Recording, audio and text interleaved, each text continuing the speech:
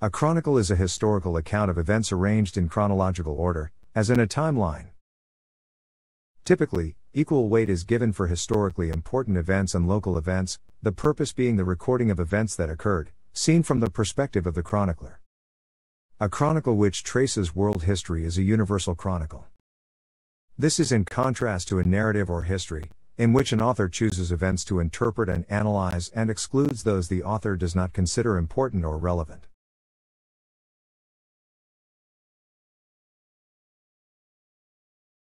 The information sources for chronicles vary. Some are written from the chronicler's direct knowledge, others from witnesses or participants in events, still others are accounts passed down from generation to generation by oral tradition. Some used written material, such as charters, letters, and earlier chronicles. Still others are tales of unknown origin that have mythical status. Copyists also changed chronicles in creative copying, making corrections or in updating or continuing a chronicle with information not available to the original chronicler. Determining the reliability of particular chronicles is important to historians. Many newspapers and other periodical literature have adopted chronicle as part of their name. Various fictional stories have also adopted chronicle as part of their title, to give an impression of epic proportion to their stories. Scholars categorize the genre of chronicle into two subgroups live chronicles and dead chronicles. A dead chronicle is one where the author assembles a list of events up to the time of their writing, but does not record further events as they occur. A live chronicle is where one or more authors add to a chronicle in a regular fashion, recording contemporary events shortly after they occur. Because of the immediacy of the information, historians tend to value live chronicles, such as annals, over dead ones. The term often refers to a book written by a chronicler in the Middle Ages describing historical events in a country, or the lives of a nobleman or a clergyman, although it is also applied to a record of public events.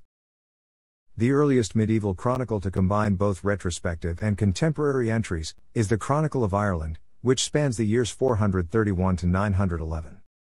Chronicles are the predecessors of modern timelines rather than analytical histories.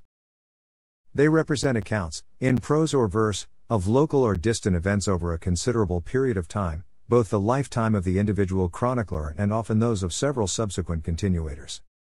If the chronicles deal with events year by year, they are often called annals. Unlike the modern historian, most chroniclers tended to take their information as they found it, and made little attempt to separate fact from legend. The point of view of most chroniclers is highly localized, to the extent that many anonymous chroniclers can be cited in individual abbeys. It is impossible to say how many chronicles exist, as the many ambiguities in the definition of the genre make it impossible to draw clear distinctions of what should or should not be included. However, the Encyclopedia of the Medieval Chronicle lists some 2,500 items written between 300 and 1500 AD. Entries in chronicles are often cited using the abbreviation S. A. Meaning sub anno, according to the year under which they are listed. For example, ASCMSA, SA 855 means the entry for the year 855 in manuscript A of the Anglo-Saxon Chronicle. The same event may be recorded under a different year in another manuscript of the Chronicle, and may be cited for example as ASCMSD, SA 857. The most important English chronicles are the Anglo-Saxon Chronicle, started under the patronage of King Alfred in the 9th century and continued until the 12th century and the Chronicles of England. Scotland and Ireland by Raphael Holinshed and other writers, the latter documents were important sources of materials for Elizabethan drama. Later 16th century Scottish chronicles, written after the Reformation, shape history according to Catholic or Protestant viewpoints. Chronicles of Flanders. Manuscript manufactured in Flanders, second half of the 15th century. Manuscript preserved in the University Library of Ghent. Thanks for watching.